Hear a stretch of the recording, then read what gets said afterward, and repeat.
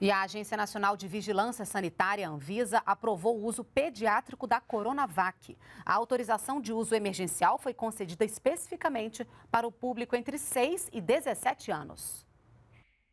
A Sinovac, fabricante da chinesa Coronavac, apresentou mais de 10 estudos que validaram o uso da vacinação em crianças e adolescentes e pediu para aplicar duas doses pediátricas a partir de 3 anos de idade mas a área técnica da Anvisa defendeu a aplicação da vacina apenas em crianças e adolescentes de 6 a 17 anos, após análise aprofundada em duas pesquisas, uma chinesa e outra chilena, os técnicos preferiram não liberar o produto para crianças mais novas. Até que haja a apresentação de novos dados que possam subsidiar a nossa a ampliação para a próxima faixa etária. A relatora do pedido atendeu a recomendação dos técnicos e foi seguida pela maioria dos diretores. Os benefícios conhecidos e potenciais da vacina Coronavac superam seus riscos a Anvisa recomendou ainda que a vacina pediátrica não deve ser aplicada nos pequenos